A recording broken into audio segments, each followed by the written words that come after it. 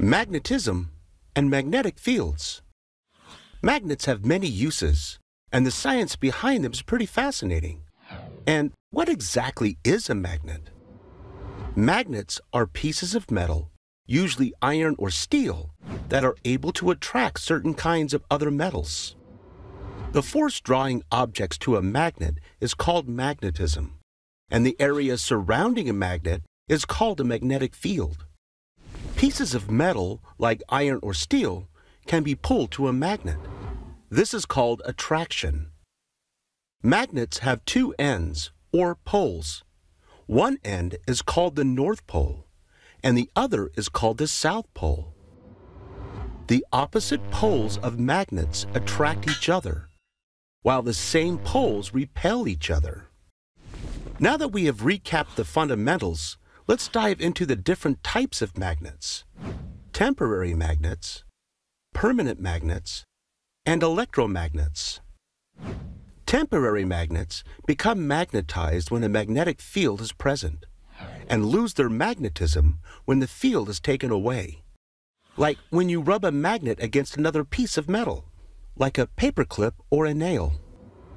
Permanent magnets are made from materials like iron or nickel that are naturally or chemically magnetized and already have their own magnetic fields, like the magnets you use on your refrigerator. Electromagnets are created by running an electrical current through a coil with a metal core. The energized core creates a magnetic field, and when the current is shut off, the magnetic field disappears. An MRI machine is a good example of an electromagnet. Electronics like TVs and computers also use this kind of technology. Here's a list of items that use magnets speakers, computers, motors, doorbells, phones, compasses, tools, and doors. They are also used by recycling centers, hospitals, and lots of other places. In fact, the Earth itself is a magnet of sorts, with its own magnetic field that is generated by the Earth's core. This phenomenon is created by the combination of molten iron and nickel that exists in the Earth's outer core. The movement of these metals acts like an electric generator, creating convection currents that produce a magnetic field with north and south poles, just like other magnets. Unlike standard magnets, however, the Earth's magnetic field can flip over long periods of time, with the north and the south magnetic poles switching places. This happens because, unlike the geographical poles of the Earth, the magnetic poles are not fixed. But this process occurs over hundreds of thousands of years, so don't throw away your compasses just yet.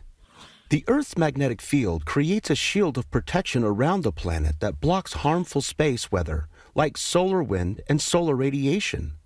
Without this unique defense, these types of weather occurrences would erode and eventually destroy our atmosphere. Who knew that the Earth and magnets had so much in common? Magnets are all around us. They're even a part of the protection of our planet.